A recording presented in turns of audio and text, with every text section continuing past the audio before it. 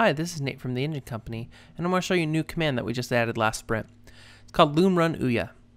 For those of you who are not familiar with Ouya, it's a $100 Android-based console for the television. We're really excited about the Ouya because it allows us to quickly get our creations on the biggest screen in the house. And with the Loom game engine, making games for the TV has never been easier. What I'm going to show you is a platformer example that we have been working on this sprint. We're especially excited about the platform example because all the art you're going to see is going to be released publicly and can be used in your own games. So as you can see, I'm jumping through and I can't quite make this last jump. Because this is the Loom game engine, I can very easily open up my favorite tile editor, in this case Tiled, which is available from mapeditor.org. And I'm going to go ahead and grab these little cloud tiles and paste them twice. And I'm also going to go grab the collision layer and I'm going to add some one-way only tiles to collide with. I'm going to go ahead and hit save, and as you can see on my television, on the Ouya, my clouds immediately appear in the game without a reload, without a redeploy. I'm going to go ahead and add a couple of one-way tiles to the collision map and save it. And as you can see in the game, I can now jump on those collidable tiles. I'm going to go ahead and trigger the collision so you can see them. Now I'm going to go through back Tiled and let's add some art so the user doesn't wonder why they're floating in the middle of nowhere. So I'm going to go ahead and add a couple of red tiles, a couple of yellow, toss in a blue, and some green for good measure. Go ahead and save it. And then immediately I can grab my controller and jump back in and start jumping on these. I'll keep going through the level and see that there's this really awesome castle here at the end.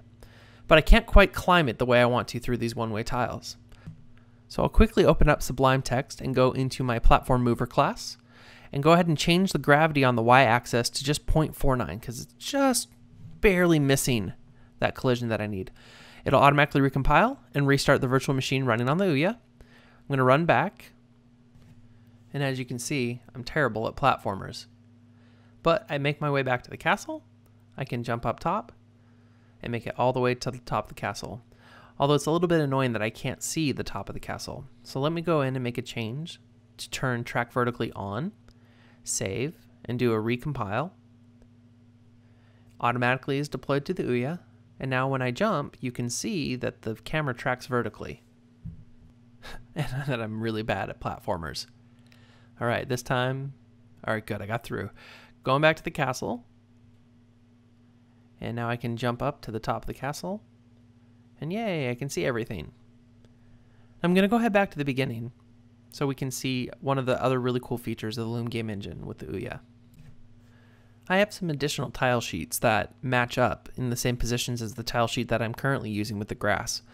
So I'm going to run a really quick command, and the command is going to overwrite the existing file that we currently are using for our tile set with another tile set that is more cold and icy. So I'm going to run a cp command, overwrite the file, and then I'm also going to say touch the file so that the asset agent knows that it changed. Obviously, if I save the file from Photoshop, Loom would pick up the change and send it no problem. And there we go. Now I have the same tile map, but different tile set, and I can see that it's much colder with the really cool ice blocks. The collisions are all the same. And there's my ice castle where the princess is not at. She's in a different castle. Going back to the beginning, I'm going to revert back my change. So git checkout to the original PNG. And as soon as I do that, you can see that it automatically flips back to the old tile set. And that is my brief whirlwind tour of the platform example on the Ouya. Thanks for watching.